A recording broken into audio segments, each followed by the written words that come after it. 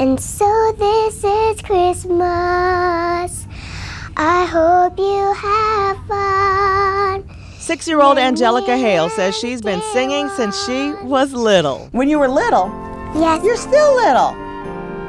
two. To see her now, you'd never imagine that just a few months ago she was on life support at Children's Healthcare at Egleston and in need of a kidney transplant. Uh, fortunately, Eva was a match. Angelica's mom, Eva, immediately agreed to donate one of her kidneys.